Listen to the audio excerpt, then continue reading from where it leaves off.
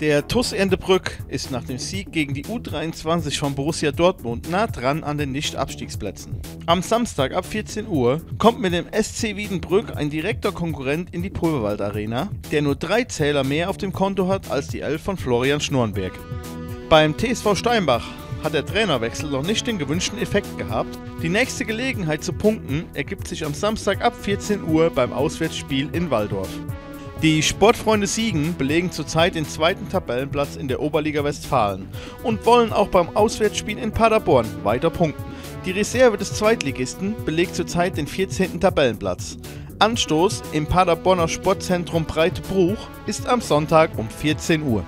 Am Freitagabend um 19.30 Uhr tritt der TuS Endbrück 2 in der Westfalenliga beim Kirchhörder SC an. Die Kirchhörder stehen zwar auch auf einem Abstiegsplatz, haben aber schon sieben Punkte mehr auf dem Konto als die Müllerelf. Also heißt es für die Endebrücker, verlieren verboten. Der Tabellenführer aus Kahn-Marienborn hat am Sonntag ab 14.30 Uhr den Tabellendritten Westfalia Herne zu Gast. Die Schützlinge vom FC-Coach Thorsten Nährbauer könnten also einen weiteren Konkurrenten bei einem Sieg auf Distanz halten.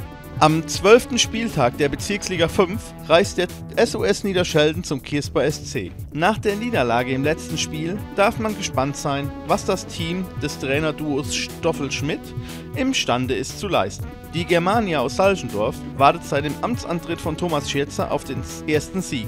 Dieser soll möglichst beim Heimspiel am Sonntag gegen schwächelnde Ottfinger eingefahren werden. Der erste FCK Marienborn 2 spielt im Kellerduell beim TUS Grünen Baum. Dabei ist für die Kenner ein Sieg Pflicht, um nicht den Anschluss an das untere Mittelfeld zu verlieren. Das Spitzenspiel steigt in Lüdenscheid. Rot-Weiß Lüdenscheid empfängt die Fortuna aus Wonnenberg. Die Partie beginnt um 15 Uhr.